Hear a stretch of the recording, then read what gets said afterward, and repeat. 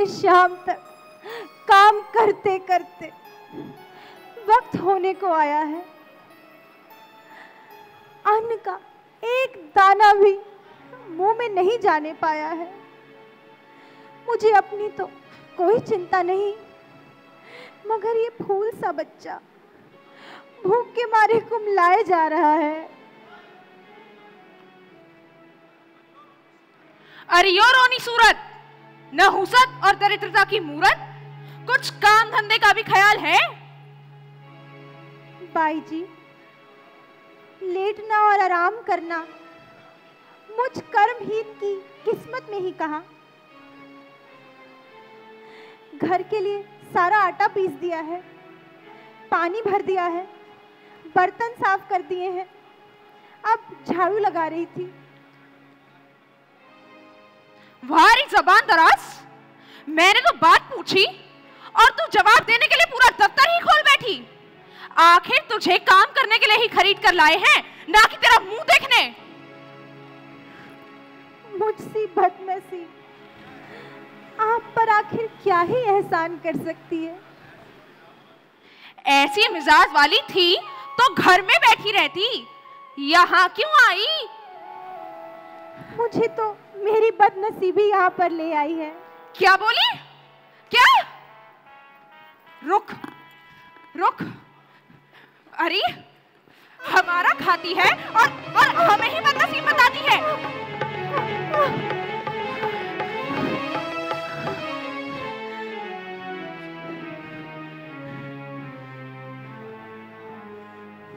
मैंने आपको नहीं कहा भाई जी। आपको की बच्ची? चुप नहीं रहती। बोलती जाती है। मैं तो आपका उपकार ही मानती हूँ और इस दंड को एक शिक्षा जानती हूँ। बस ज़्यादा जबान ना चला। जा और जाकर झाड़ू दे। बहुत अच्छा बाई जी। मैं सब काम कर लूँगी। जा। झाड़ू लगा कर रखना मैं अभी आती हूँ। माता जी क्या अभी तक आपको काम से फुर्सत नहीं मिली? मुझे भूख लग रही है। आ मेरी फूटी हुई प्रारब्ध। बेसब्री और दारिद्रता की साक्षात मूर्त। नहीं लिखा तेरी तकदीर में एक भी अन्न का दाना। मेरे लिए, मेरे बच्चे में कहा से लाऊं तेरे वास्ते खाना। बेटा, जरा शांति करो। अभी थोड़ी देर में काम से फुर्सत करके मैं तुझे भोजन करा दूँगी। माता जी आप रो रही हैं? नहीं बेटा रोती तो नहीं यूँ ही गर्दे की मेहरबानी है। उसी की वजह से आँखों में कुछ पानी आ गया है। गर्दे की वजह से आँखों में पानी आ गया? परंतु माता जी आपका गला भरा हुआ क्यों है? पूरी बात भी मुँह से नहीं निकल सकती। नहीं नहीं बेटा। गले पर भी गर्दे की ही मेहरबानी है। उसी कारण से आँखों में भी पानी है।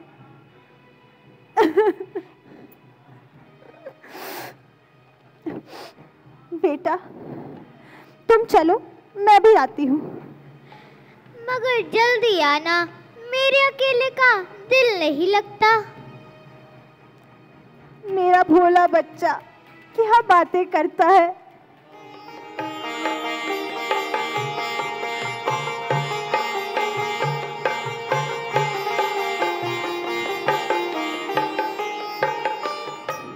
क्यों री? मैंने तुझे कहा था कि जल्दी आना। तूने बड़ी देर लगाई। सरकार मैं तो आने को तैयार ही थी। अगर तू इसी रफ्तार से काम करेगी तो यहाँ तेरा निर्वाह होना मुश्किल है। आप जिस भी तरह मुझे आज्ञा देंगी मैं वैसे ही किया करूँगी। काम करने को तो तूने अभी तक किया ही क्या है? मगर हाँ जरा मेरे पाँव दबा दे तबीयत खराब लगती है। अच्छा एक मिनट। नाम क्या है? मुझे तारा के नाम से पुकारते हैं। और तेरे बेटे का नाम? उसे रोहित कहते हैं। वाह वाह। तन पर नहीं लत्ता और पान खाऊं अलबत्ता। ये अवस्था और ये नाम? जरा बुलाओ उसको। कहाँ मर गया वो? बेटा रोहित बेटा रोहित जल्दी आओ।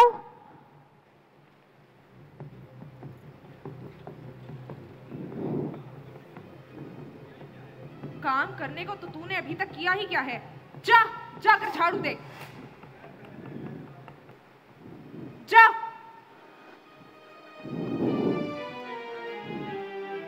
ए लड़के इधर आ। हाजिर हूँ। जरा रुक। मेरे पैर दबा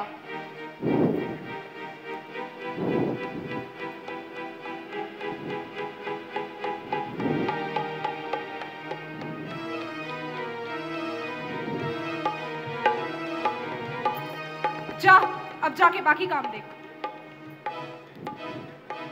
ए, लड़के, देखो, तुम्हें घर के कामकाज से कोई वास्ता नहीं। तू बस प्रतिदिन वाटिका जाकर मेरे लिए पुष्प चुनकर लाएगा।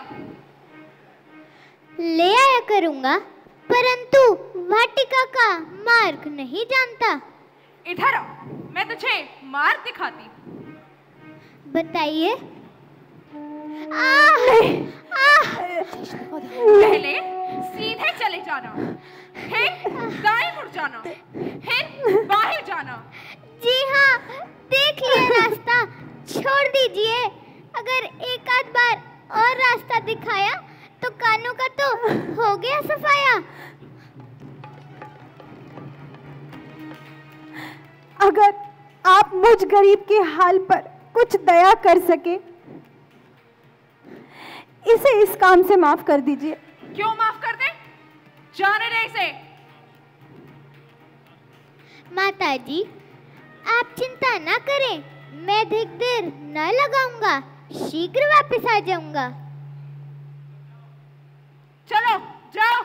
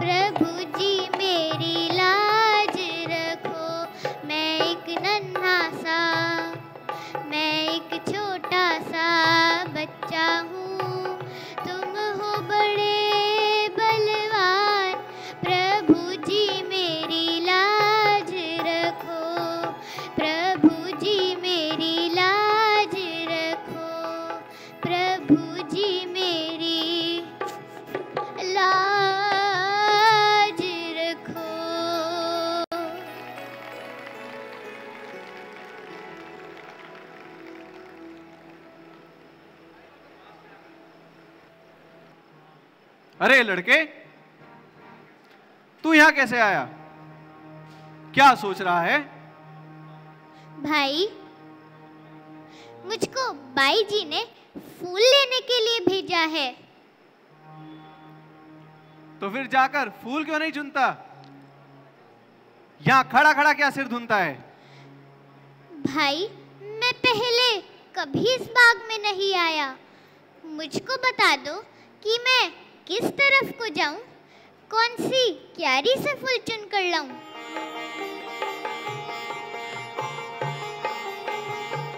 देख इन वृक्षों से सीधा चला जा। वहाँ से फूल चुग लाना। बहुत अच्छा भाई।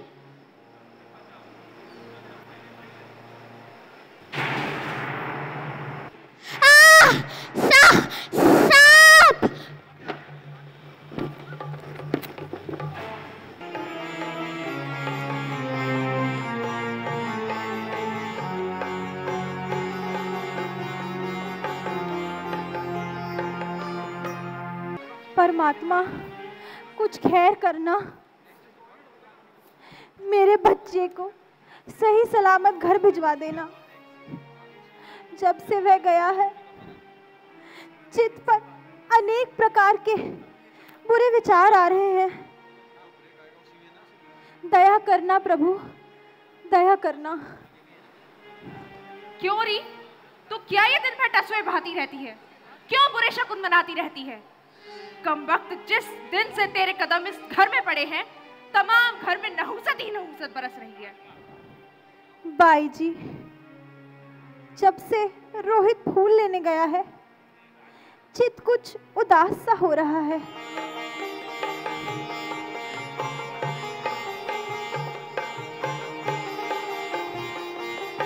क्या तेरे रोहित पे कोई बिजली गिर जाएगी?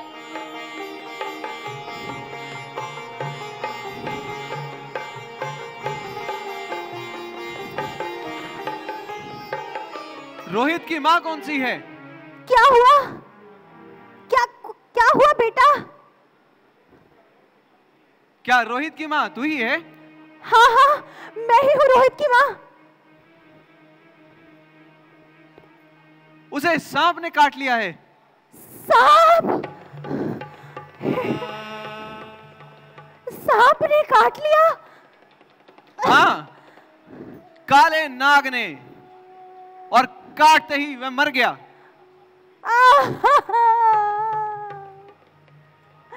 मेरे मैं तो अपने विपत्ति के दिनों से पहले ही डरती थी। मेरे बच्चे, अब तो तूने मुझको कहीं का ना छोड़ा। बेटा रोहित। जब तेरा चाँद सा मुकड़ा देखने को मैं सारी उम्र तड़पूँगी, रोए।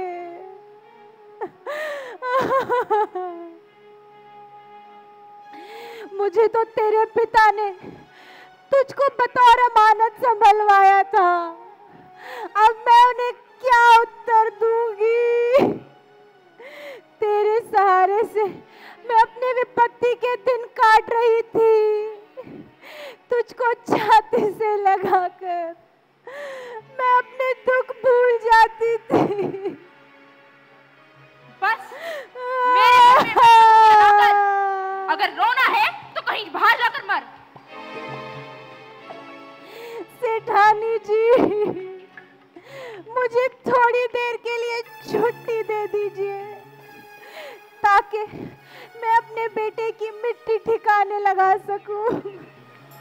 बड़ी चलाक है।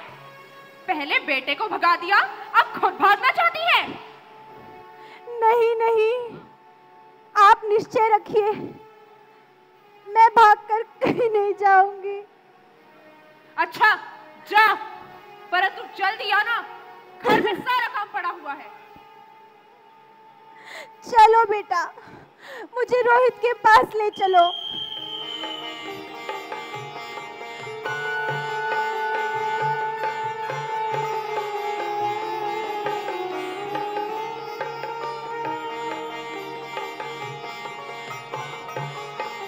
आओ मैं तुम्हें दिखाता हूँ।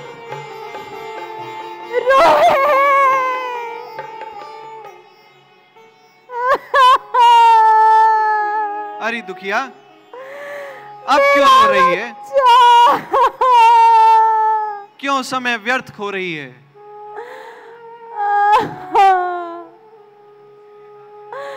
इसे ले जाके। इस बेचारे की मिट्टी को ठिकाने लगा।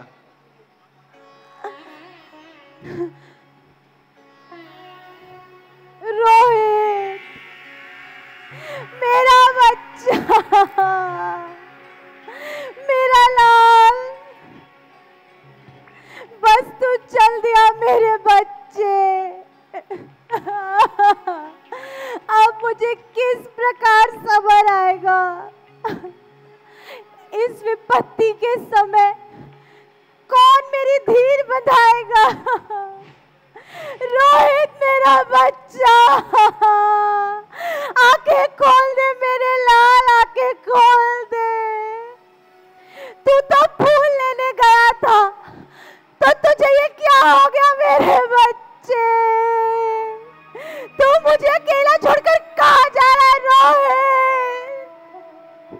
रोहित सब्र कर माई सब्र कर।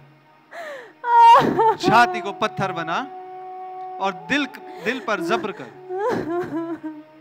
यह तो मिट्टी है। नहीं, नहीं। अब इसे ले जाकर मिट्टी में धर दे। नहीं, नहीं। इसके अंतिम दर्शन पाले और इसका अंतिम संस्कार कर दे। मेरी फूटी हुई प्रारब्ध। मैं तुझे ही तो देखकर सुख का सांस भर लेती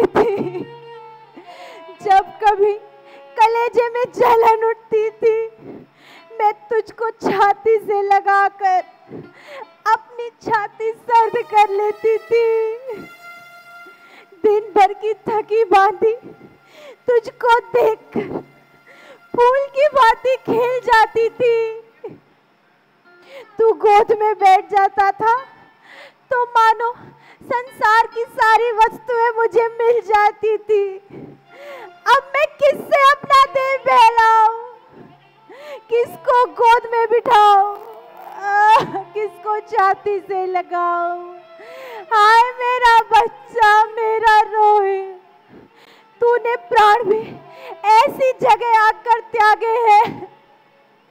जहाँ तेरे कफन के लिए। गज भर कपड़ा भी मिलना मुश्किल है। अब मैं यहाँ किसके पास जाऊँ? यहाँ हमारा कौन मददगार है? अच्छा बेटा ये भी जमाना रंग दिखा रहा है। अनेक प्रकार के वस्त्र और आभूषण में खेलने वाला अब कफन से भी खाली जा रहा है।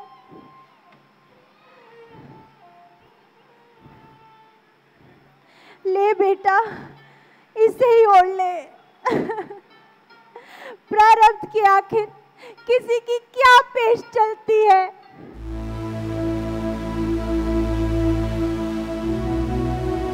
आ बेटा।